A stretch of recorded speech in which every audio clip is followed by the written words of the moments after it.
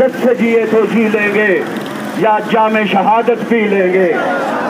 बरदरान मिलत कश्मीर पाकिस्तान की शारग है। कश्मीर हमारा था, हमारा है और हमारा रहेगा। कश्मीर की आज़ादी के लिए हमें जो भी कीमत चुकानी पड़ी, हम चुकाएँगे। हमें जो भी कुर्बानी देनी पड़ी हम किसी किस्म की कुर्बानी से दरेज नहीं करेंगे। इससे कबल हमारी क्यादत फिनाफुल रसूल अमीरमुजाहिदीन हज़रत अल्लामा हाफज खादम हुसैन रजवी रहमत आपने कई मरतबा ये ऐलान फरमाया कि आज तुम कश्मीर की आज़ादी का ऐलान करो। तुम कहोगे तो हम तुम्हारे आगे चलेंगे। अगर कहोगे तो तुम्हारे पीछे चलेंगे। अगर कहो तो तुम्हारे दाएँ चलेंगे। अगर कहो तो बाएँ चलेंगे। कश्मीर की आज़ादी का ऐलान करना ये तुम्हारा काम है और कश्मीर को आज़ाद करवाना ये हमारा काम है। हम अपने कायद के उस फरमान पर अमल करते हुए आज भी हुकूमत पाकिस्तान और पाक अफवाज की खिदमत में ये गुजारिश करते हैं कि आप आज जिहाद कश्मीर का ऐलान करें।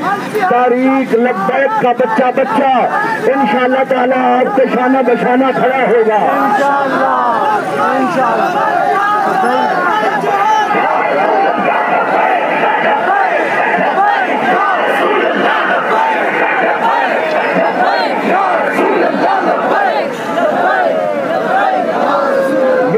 हमेशा जेन में रखें। कि आज़ादी कभी भी प्लेट में नहीं मिलती।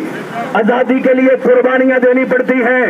वतन अज़ीज़ मुल्क पाकिस्तान जब ये मार्ज वजूद में आया तो इसकी तारीख पढ़ के देख लो कि लाखों कुर्बानियाँ देनी पड़ी। रावी के दरिया में पानी नहीं, बल्कि खून नज़र आता था।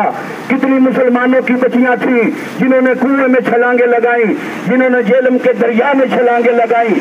फकत आज़ादी की खातर आज कश्मीर की बच्ची, आज कश्मीर का बच्चा, जब उसके सीने पर हिंदू बनिया गोली मारता है, और हिंदुस्तान के हुंडे और बदमाश, और हिंदुस्तान के बदमाश फौज जब उनका सीना गोलियों से छननी करते हैं तो वो अपने बच्चे को पाकिस्तान के परचम में लपेट कर फिर उसके बाद कबर में रखते हैं।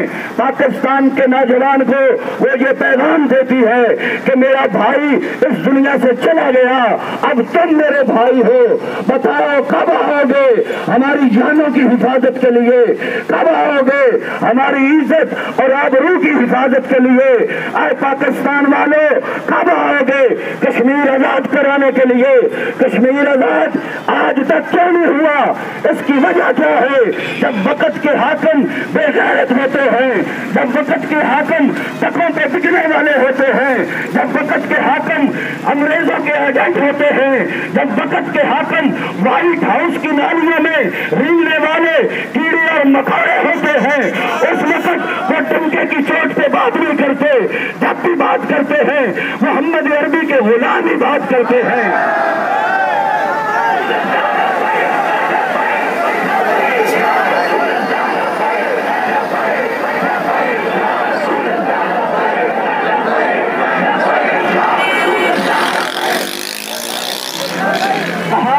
था कि जब राजा शहर के एक फौजी ने एक मुसलमान खातून का दुबट्टा उतारा तो वो चिल्ला के कहने लगी, काश आज माँ या बहन की इज़्ज़त को जानने वाला कोई नौजवान होता तो उसकी ये आवाज़ ये सिंध से हिजाज तक पहुँची और मोहम्मद बिन कासिम सत्रह साल की उम्र में अपनी तलवार को लहराता हुआ वो मैदान में निकल आया।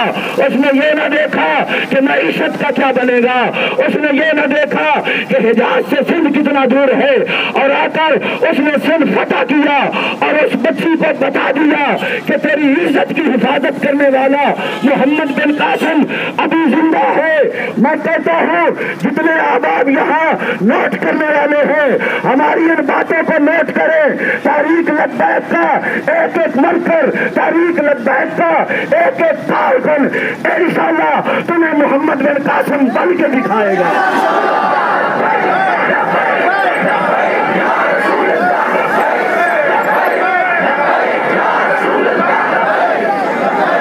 हमने नहीं ये दर्जाए गर्दशे दौरा से। हम रक्षा करते हैं ज़िंदगी के साथ साथ। हम वो नहीं कि जब स्टेज मिले तो बात करें और जब शामिल हो तो झुक जाएँ। ये जहन में रखो, ना हम झुकने वाले हैं, ना हम बिकने वाले हैं। तारीख लब्बैक के एजेंडे में ये बात शामिल है। हमने कश्मीर भी आज़ाद करवाना है। और हिंदुस्तान के जनाब लाल, दिल्ली के लाल किले के ऊपर हमने पाकिस्तान का परचम भी लहराना है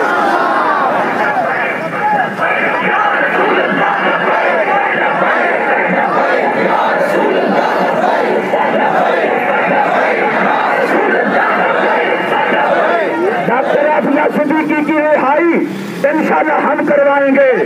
बर्मा के मजलूमों की आवाज़ हम बनेंगे। शाम पर होने वाले मजालिम की आवाज़ हम बनेंगे। जमन वाले मुसलमानों पर होने वाले जुल्म ज़्यादा हम खत्म करवाएँगे। अभी दो दिन की बात है, थोड़ा इंतज़ार करो, फिर हम तुम्हें बताएँगे कि हजीर के गुलाम कैसे होते हैं।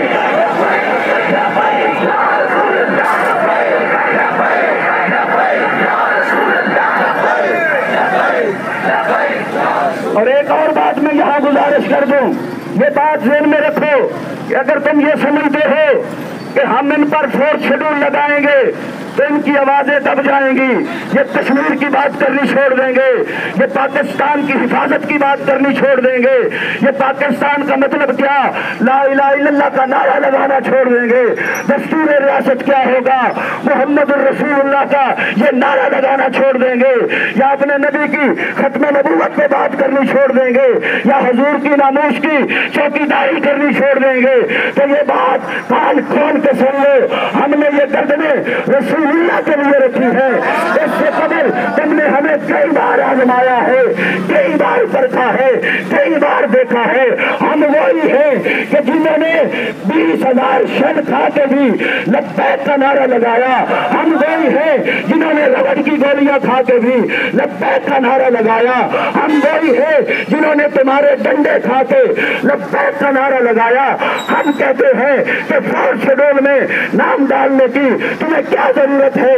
हमने कोई डकैती की है, हमें बताओ तो सही। हमने कोई कत्ल किया है, हमें बताओ तो सही। हमने कोई जुर्म किया है, हमें बताओ तो सही। अगर नबी का नाम लेना, पाकिस्तान की बात करना, पाकिस्तान की सलामती की बात करना, अगर ये हमारा जुर्म है तो फिर जान लो, एक शेड्यूल नहीं, तुम लाखों भी हम पे लगा दो। कसम है, रब्बे कायनात की इज़्ज़त की। हम एक इंच भी अपने मुवक्कत से पीछे नहीं हटेंगे किस बात की है, डंडा तुम्हारे पास है, मुस्तफ़ा का दामन हमारे पास है, बंदूक तुम्हारे पास है, नबी की गुलामी हमारे पास है, इकतदार तुम्हारे पास है, हजूर की नमूस की चौकीदारी ये हमारे पास है बहुत बोली तुम्हारे पास है तो फिर सीना हमारे पास है आप फिर इधर आ सितमगर, हुनर आजमाए, तू तीर आजमा, हम जिगर आजमाए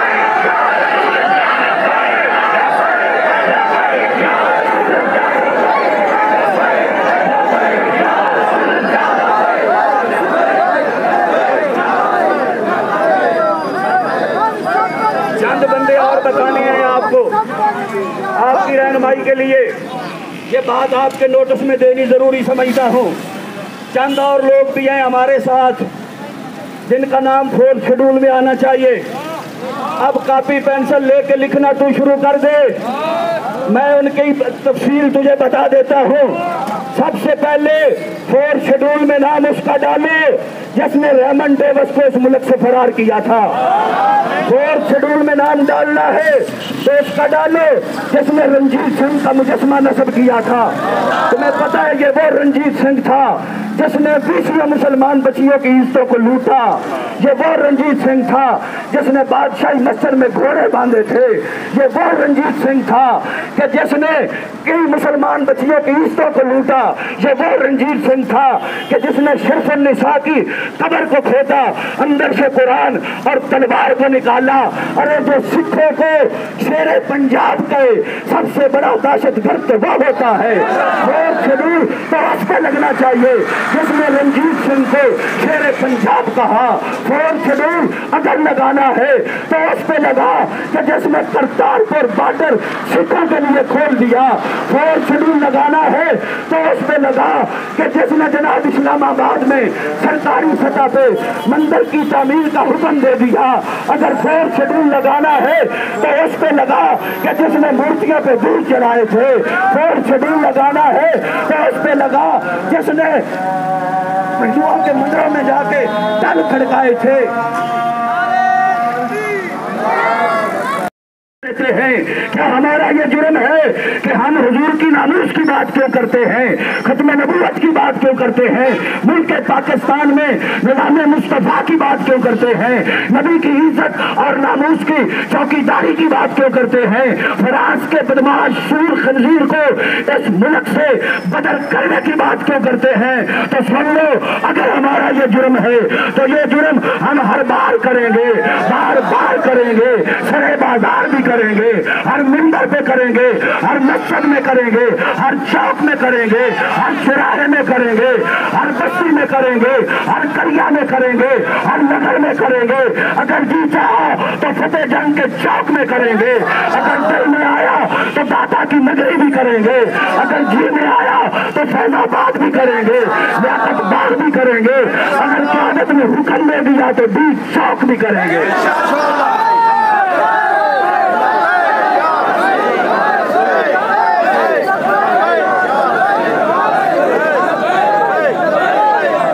अगर तुम में इतनी हिम्मत नहीं है कि तुम कश्मीर आज़ाद करवा सको अगर तुम में इतनी ज़रूरत नहीं है तो फिर वक्त का इंतज़ार करो। लब्बैक वालों को आने दो। देखो ये किस तरह हज़रत उमर बिन अब्दुल अज़ीज़ की सुन्नत को अदा करते हैं। हज़रत उमर बिन अब्दुल अज़ीज़ ने अपने सफीर को भेजा रोम के अंदर। वो रोम गया। उसने देखा कि एक मुसलमान है, कुरान पढ़ रहा है। आँखें उसकी नहीं है और साथ चक्की भी चला रहा है।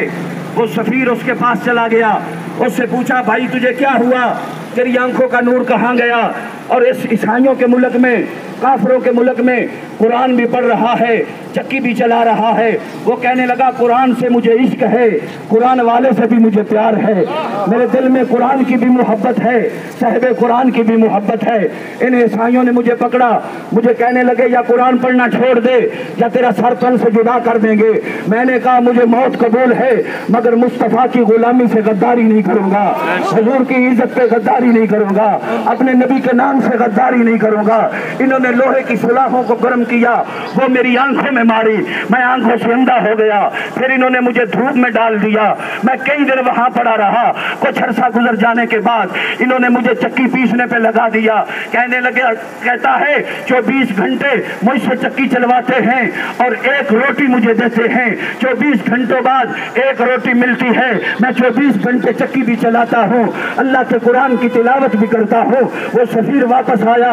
हज़रत उमर बिन अब्दुल अज़ीज़ के पास आके कहा कि, आए खलीफतुल मुस्लिमीन, तेरी खिलाफत के डंके बज रहे हैं। तूने रियासत मदीना की बात की, मगर बात तो बता मुझे ये कि एक मुसलमान रोम के अंदर इस तरह उस पर जुल्म सितम किया गया। उसकी आँखों में लोहे की सिलाखें गर्म करके मारी गई और फिर इससे चक्की पीछे बिलखसूस, हमारी फतेह जंग की इंतज़ामिया के जो अहबाब हैं, आपने हमारे साथ तावन किया। मैं आपका मशहूर हूँ। आगे के लिए एक गुजारिश है। अगर बिल फ़र्ज़ आपको आर्डर आते हैं हमारी गिरफ्तारी के, ज़ाहिर है आप भी मजबूर हैं, आपकी ड्यूटी है, आप अपनी ड्यूटी करें, मगर बरदराना मैं आपको मशवरा देता हूँ, वो लिस्ट आप मेरे पास भेज दें, जितने बंदों की लिस्ट आएगी, उससे डबल बंदे मैं आपको दूँगा।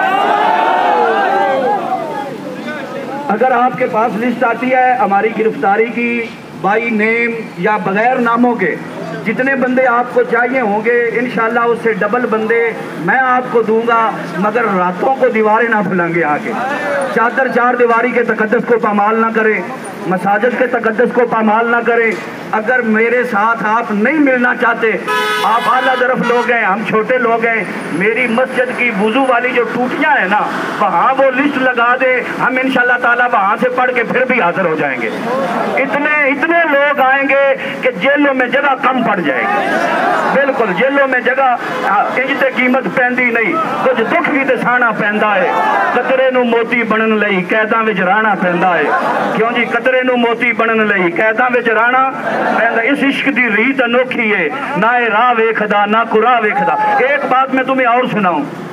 मैं तीसरी मरतबा ये इखलाक भाई आगे आए ज़रा।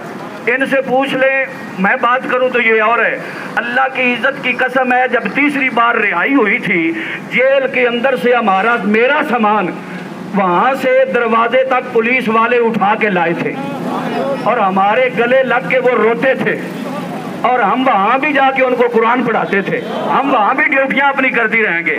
जी, आपको अगर आ जाती है लिस्ट, बरादराना बात है, आप हमारे पास भेजें, उससे डबल बंदे आपको इंशाल्लाह देंगे। रातों को दीवारें ना फैलाएँगे मदारस मसाजिद की तोहन ना करें। इस तरह फिर हमें भी, हम भी हजूर के गुलाम हैं। आखिर दिल तो हम भी रखते हैं। क्या फ़र्क था जो बीच की ये दीवार गिर जाती? हम साय का घर भी तो मेरे घर की तरह है। अल्लाह इस हाजरी को कबूल फरमा जिम्मेदारान को कॉल की और ये दोस्त अबाब, तमाम यूनियन कौंसिल, तहसील फतेह जान की नुमाइंदगी है। और हुकूमत पाकिस्तान से हमारा जो माहदा सोलह फरवरी तक है, वो हुकूमत वक्त इल्तमास है कि वो माहदा पूरा कर दे। वरना जो सोलह फरवरी की शाम ये तुम्हारी है सतारह फरवरी की सुबह फिर हमारी है। और जो ये गुंडागर्दी की जा रही है, हमारे कायदीन पर पर्चे और फोर शेड्यूल लगाए जा रहे हैं। डिटेंशन ऑर्डर भी किए जा रहे हैं। अगर 16 फरवरी से पहले कहीं भी हमारे किसी कारकुन को गिरफ़्तार किया गया तो ये हमारा मुआदा हुकूमत से खत्म होगा। पूरा मुल्क जाम करके रख देंगे। और यही चौक होगा। पता जंग वालों अगर कहीं भी आपने सुना कि हमारे किसी भी कारकुन के घर, किसी भी पुलिस वाले ने कोई घेराव किया सोलह फरवरी से पहले पहले तो फिर हमारा मुआदा खत्म है। और फिर ये गुंडागर्दी हम नहीं चलने देंगे। पूरा मुल्क जाम करके रख देंगे। ये लब्बैक वाले फरासी खंजीरों को पका के दम लेंगे।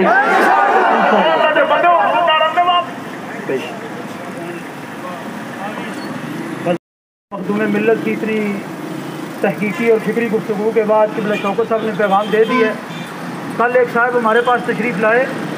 आकर कहने लगे कि सत्रह फरवरी के वाले से साद साहब क्या करने वाले हैं? या साहद साहब के अंदर कुछ धमखम है? मैंने कहा, लंबी चौड़ी गुफ्तु मुझे आती नहीं है। लेकिन हमें इतना पता है कि शेखुल हदीस का बच्चा ज़रूरी नहीं शेखुल हदीस हो। मुफ्ती का बच्चा ज़रूरी नहीं मुफ्ती हो। डॉक्टर का बच्चा ज़रूरी नहीं डॉक्टर हो। हमें इतनी बात पता है कि शेर का पुत्र शेर ही होता है शेर का पुत्र शेर ही होता है इन अज़ीज़ वो वक्त दूर नहीं है सरकार के गुलामों को अल्लाह कितनी कामयाबी अता फरमाने वाला है। आमीन, या रब्बल आलमीन। आज की हमारी इस मजलिस खैर को हमारे हक में कबूल फरमा। या रब्बल आलमीन, योम यकजती कश्मीर। पूरे पाकिस्तान के अंदर टी एल पी जिस तरह जोश खरोश के साथ और इंतहाई नाजो नाम के साथ मना रही है, शरफ कबूलियत अता फरमा। सिर्फ़ जिला अटक के अंदर छः मकाम पर छः तहसीलों के अंदर, हर तहसील के अंदर टी एल पी इसी तरह सिर्फ़ कश्मीरियों के साथ इजारी यकजहती के लिए नहीं बल्कि एक शफीकाना अंदाज के साथ, खैरखाई वाले अंदाज के साथ, आज कश्मीरियों के साथ इंतहाई जो है वो मोहब्बत के साथ खड़ी है। इन लजीज हर गरीब की खैरखाई करना, ये टी एल पी की ज़िम्मेदारी है। इन लजीज टी एल पी हर मैदान में कामयाबी और नुसरतों के झंडे गाड़ेगी इन लजीज यारबालमीन फ्रांस के जितने भी खंजीर हैं उनको नेस्त नाबूद फरमा। यारबालमीन सरकार के गुलामों को हर मैदान में कामयाबी और नुसरत अता फरमा। आलम इस्लाम की हिफाजत फरमा। आलम इस्लाम की खैर फरमा। यारबालमीन हमारे ज़िले अमीर हमारे तहसील के जिम्मेदारान यूसीस के जितने भी हमारे यहाँ पर जिम्मेदारान उमरा हजरात नाजमीन जितने भी कुर्ब जवार दूर दराज से चल के आए सबका आना कबूल मंजूर फरमा। यारबल आलमीन अपना हमें अपना माल जान कारोबार इज़्ज़त इज़्ज़त आबरू सब कुछ हजूर के कदमों पर निछावर करने की तोफी अता फरमा। या रब्बल इस्लाम का बोल बाला फरमा। कुफर का मुँह काला फरमा। वतन अज़ीज़ के हालात बेहतर फरमा। वतन अज़ीज़ को अमन सुकून का गहवारा बना। वतन अज़ीज़ के अंदर निज़ाम मुस्तफ़ा की बहारें अता फरमा। वतन अज़ीज़ की सरहदों की हिफाजत फरमाने वाली अफवाज पाकिस्तान को हर मैदान में कामयाबी और नुसरत अता फरमा। या रब्बल आज इस योम यकजहती कश्मीर की बदौलत जो मेरे भाई, बुज़ुर्ग, बच्चे अपने दिलों के अंदर नेक, जायज़ तमन्नाएँ लिए खड़े हैं। सबकी मन की मुरादों को पूरा फरमा। या रब्बल हमारा आना कबूल फरमा। या रब्बल आलम इस्लाम के मुसलमान जो इस वक्त जुल्म सितम की चक्की के अंदर पीछे हुए चले जा रहे हैं, या रब्बल अमन सुकून अता फरमा। कश्मीर, चिचनिया, फलस्तीन, इराक, अफ़गानिस्तान और पाकिस्तान के मुसलमानों की हिफाजत फरमा। या रब्बल पाकिस्तान के मुसलमानों को और सरकार मदीना के गुलामों को हर मैदान में कामयाबी और नुसरत अता फरमा। हज़रत अमीर मुजाहिदीन, किबला हाफिज खादिम हुसैन रिजवी रहमत की रूह पुरफतू को आलमीन वालों की वजह से के अंदर तमानियत अता फरमा, सुकून अता फरमा। आप, आपके यारबालमीन मुबारक मिशन को हम सब पर जो है वो इस पर अक्सर अंदाज के साथ अमल करने की तोफ़ी अता फरमा। इस मुबारक मिशन को आगे फैलाने की तोफ़ी अता फरमा। इस सफ़र का हम सबको मुसाफिर बना। आलमीन, हज़रत अमीरमुजाहिदीन अल्लाह हाफिज़ खातम हुसैन रिजवी रहमत के मामू जान का दो दिन कबल विसाल हुआ। हमारे टी एल पी के बहुत अच्छे कारकुन अदालत भाई का विसाल हुआ। आलमीन, दीगर जितने मेरे भाई बुज़ुर्ग बच्चे यहाँ पर खड़े हैं, इनके जो जो अज़ीज़ वारब रिश्तेदार, तल्लकदार, बिरादरी कुंबे कबीले के लोग जो आए, चले गए, सबकी मफरत फरमा। मलाल यूसिस के जो हमारे वहाँ पर जिम्मेदार हैं, इरफान भाई गालबन उनकी बीवी बीमार हैं। तो दुआ फरमाए, सख्त अलील अल्लाह पाक शिफा अता फरमाए। इमाम जैनलाबद्दीन रज़ी अल्लाह की बीमारी के तसदुक में जुमला बीमारों को शिफा अता फरमा। आज बाईस जमादी शरीफ है अफजलबशर बादलम्बिया तहकीक जनाब सैदना अबू बकर सिद्दीक रज़ी अल्लाह तु का योम विसाल है। या रब्बल आलमीन, सिद्दीक अकबर रज़ी अल्लाह ताला के वारिस और जानशीन इस वक्त लब्बैक की सदाएँ बुलंद कर रहे हैं। शर्फ कबूलियत अता फरमा, वसल्लल्लाहु तआला अला हबीबिही मोहम्मद सल्लल्लाहु तआला हबीबिही मोहम्मद वाला आलिहि व अस्हाबिही उम्मतिही व मिल्लतिही अजमाइन बिरहमतिका